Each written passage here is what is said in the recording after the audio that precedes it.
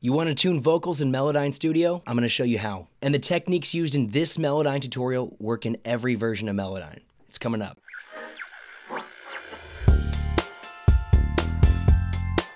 Hey, it's Andy from Studio Hustlers. Subscribe to this channel for more videos on recording radio ready tracks from your home studio. Before you tune vocals in Melodyne, grab my free course on vocal production. One of those videos in that free course shows you how to build and prep your vocal tracks before you tune them in Melodyne. It's called the Quick and Easy Vocal Production System. It's a revolutionary free video course that makes vocal production quick and easy and helps you make your singer sound like a star. There's a link to it in the description. It's free down below. Go get it. Let's jump into tuning vocals in Melodyne Studio. So let's get up and running with Melodyne here.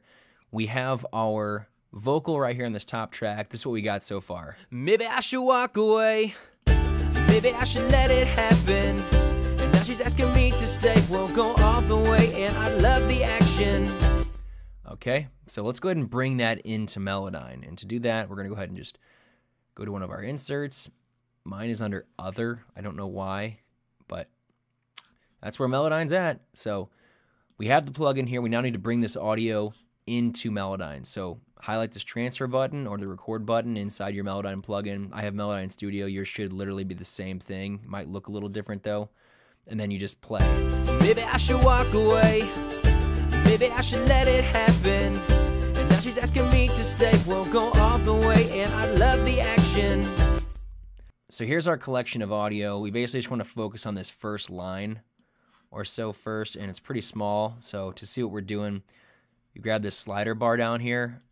We got it lined up on the left side pretty well, so let's grab the right and just drag it over. Okay, and then you can zoom up even more with this uh, vertical slide bar. And we're going to stretch this out. Okay, so if you'll notice, you have your blobs of audio here, and then you also have some little lines. Okay, the blobs of audio is basically audio, and then the actual little red lines on top of these blobs of audio, these little red lines mean that's a pitch right there. Okay, and like right here, there's not a red line because this is not a pitch. This is either a D or a P or a T or a S sound. Those consonants, they don't have pitches. Okay, so the pitches are on the vowel sounds. So you can't just tune this whole thing because you don't want to be pitching your consonant sounds. Okay, if you're going to pitch an S sound, it's going to sound weird. This program doesn't understand what that is. So what you need to do is separate the consonants from the vowels and then edit the vowels. Okay, it's a little bit more tedious than using like Antares Auto-Tune, but you can get some really natural sounding results with Melodyne. So um, this this program is pretty crazy. So what you want to do is grab this note separation tool, okay, and basically just go through it line by line and just cut off the consonants. Okay, so right here we have pitch and then no pitch. Let's go ahead and cut that right there by double clicking. We'll cut right there. Go over here, cut the end of that. We can cut the beginning of this. Um, this right here, you can maybe cut this because this is kind of two pitches right there. Like this blob of audio has a big slope, flat audio, and then a big slope again. So we might want to cut that later just because uh, after you use this program for a while, you kind of pick up where things might sound a little weird that might stick out to you. So let's go ahead and just keep cutting the rest of this off. And we'll stop there for now. So now what you want to do is grab the pitch tool. Basically, we're just going to drag these notes to where they're at the correct pitch, or you can just double click them. So let's go ahead and just double click these.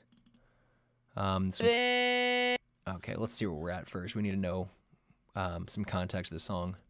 Maybe I should walk away. When you're dragging these, it'll snap to the pitch, okay? But let's say you want to, you know, customize it a little bit and not have this pitch directly on the pitch. What you can do is hold down the option key and then drag. And you'll be able to, you know, slide it between perfect pitches, okay? So maybe I should walk away. Maybe I should let it happen. So let's go ahead and um, see if we like this first this first little line here. So let's just go ahead and solo the track. Maybe I should walk away. Okay, and um, one thing you can do is when you have the the pitch tool selected, you have these little orange lines between the vowel sounds. If you hover over it, it'll actually let you change the slope between each note. So you can either go like straight into the note with a straight vertical line, or you can kind of ease into that new pitch. Okay, so if things are ever sounding a little bit too robotic for you, you can make it a little bit more of a slope. All right. Maybe I should walk away. Okay. And then if you notice here, this pitch is kind of all over the place. What you can do is even that out or make it even more all over the place by coming up here, holding down on the pitch tool, coming down to the pitch modulation. Okay, and now if I click here and then drag up or down, it will modify this pitch and either make it farther away from this note, from this B note, or it will make it tighter to the note. Okay, so let's go ahead and do that. Maybe I should walk away. All right, let's try it down here with this A. Go. Maybe I should walk away. All right, Go so this is more for like vibrato. Um, but how the front of this note is more off center than the rest of it, what you can do is actually come down to the pitch drift tool and it will straighten that whole thing out for you. Maybe I should walk away. Maybe. All right, but if you mess with it too much, like this is starting to sound a little bit um, throaty and robotic and weird. Maybe I should walk away. So I kind of liked it without even messing with it. Maybe I should walk away. All right, so that's all you need to do, really. You want it to still sound natural, and you might not even want to go. I went straight to the grid as far as pitch goes. You might not even want to do that um, because some imperfections, you know, keep you sounding human. So let's go ahead and try the next line. Maybe I should let it happen. Maybe I should let. Maybe I should let it happen. Maybe. I, maybe, maybe I should. Maybe, maybe I should let it. Let. Same with this slope tool. You can uh, even that out. Let's see what that sounds like. Maybe I should let it happen. Let it. Maybe I should let it happen. Happen. Maybe I should let it happen. And maybe I should let it happen. All right, let's hear what that sounds like in context. Maybe I should walk away. Maybe I should let it happen. And now she's asking me to stay. We'll go all the way, and I love the action. Um, I mean, that's pretty much all there is to it. When you see things like this, this sticks out. Okay, so let's go ahead and just cut these consonants off this. We'll just go ahead and, and go through. This one might be actually be too close, so let's see if we can zoom up and maybe cut that off. We are right here. Oh, it doesn't even want you to do that one, so you can you can move these a little bit. Luckily, that one's pretty in pitch, so we don't have to really worry about it. Let's cut that off we can right here how there's like two notes on this one on this specific blob okay you're definitely gonna want to cut it right there though okay and then probably right here again okay so then you can drag this Maybe I should walk away. let's go ahead and go over here And now she's asking me to stay. We'll go. And now she's asking me. And, and now she. And now she's asking me to stay. We'll go. She.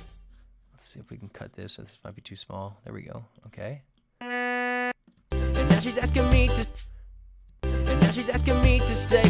this should all be the same note And now she's asking me to stay. We'll go all the way. And I. And now she's asking me to stay. We'll. all right And now she's asking me to stay. We'll go. okay let's go ahead and correct this part And now she's asking. And now she's asking me to stay. We'll go. And now she's asking me to stay, we'll go. Whoa. And now she's asking me to stay, we'll go all the way. And, Okay, something was pitchy over here. Let's find that. and now she's asking me to stay, we'll go off. Go. And now she's asking me to stay, we'll go all the way. All right, that sounds weird right there. Let's see if we can fix this because this happens quite often um, in Melodyne. And now she's asking me to stay, we'll go all the way. Uh, uh, and now she's asking me to stay, we'll go all the way. And I. Uh, and now she's asking me to stay, we'll go all the way. And I love the action. All right, it sounds better. And now she's asking me to stay, we'll go all the way. And That note doesn't need to be there. Let's go ahead and bring this down. Maybe blend that in a little better. And now she's asking me to stay, we'll go all the way. And I love the action. And now she's asking me to stay, we'll go all the way. And I love the action. All right, we'll finish out this line and then call it a day because I think you should be catching on by now. Um, let's go ahead and change these notes there that have those extreme, those extreme variables in pitch right there. And now she's asking me to stay, we'll go all the way. And I love the action. Mm-hmm. And I, and now she's La. and now she's asking me to stay. We'll go all the way, and I love the. That can probably stay where it's at because it happens so quick. And now she's asking me to stay. We'll go all the way, and I love the action. And now she's Love the action, love the. the. And now she's asking me to stay. We'll go all the way, and I love the action. Yeah. Okay, so here's where the pitch drift tool is going to come in hand right here. The pitch drift tool, you get that by just holding down on the pitch tool, coming down here, and then dragging this, and it's going to even that out for And you. And now she's asking me to stay. We'll go all the way, and I love the action. Yep. All right, let's hear it in context with the track. Maybe I should walk away. Maybe I should let it happen. And now she's asking me to stay. We'll go all the way, and I love the action. And there you go. I just showed you how to tune vocals in Melodyne Studio, but those same techniques work in every version of Melodyne. So it doesn't matter if you're using Melodyne Essentials, Melodyne Studio, or Melodyne 4. If you haven't already, subscribe to this channel and don't forget to grab my free vocal production course called the Quick and Easy Vocal Production System. It makes producing killer sounding vocal tracks fast and easy. There's a link in the description down below where you can grab the course for free. Take action now though, because I will replace it with something else soon. And once it's gone, you won't be able to get it anymore. I'm Andy. Thanks for watching Studio Hustlers, and I will see you in the next video.